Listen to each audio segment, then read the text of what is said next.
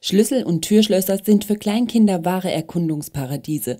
Hier wird geduldig ausprobiert, wie sich ein Schlüssel abziehen oder im Schlüsselloch herumdrehen lässt. Schnell haben Kinder auch das Absperren auf eigene Faust gelernt. Schaffen sie es nicht, die Tür wieder eigenhändig zu öffnen, folgen daraufhin nicht nur für die kleinen Minuten der Angst, auch die Eltern geraten in Panik.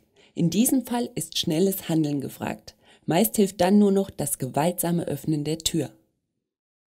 Um dieser Situation vorzubeugen, liefert Rehr mit dem Keyfix einen cleveren kleinen Helfer, mit dem Sie alle gängigen Innentürschlosssysteme auch von der anderen Seite öffnen können. Der Keyfix lässt sich leicht montieren, ist funktional und universell einsetzbar.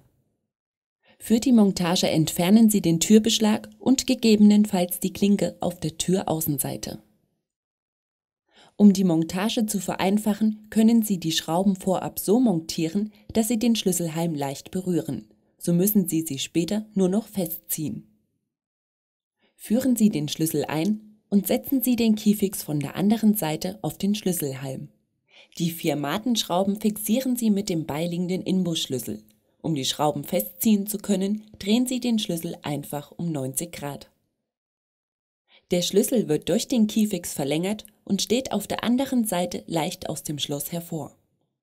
Es ist weiterhin ein ganz normales Absperren und Aufsperren möglich.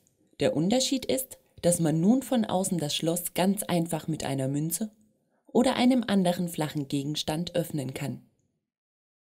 Zusätzlich bleibt der Schlüssel sicher verankert, kann nicht abgezogen werden und geht nicht verloren.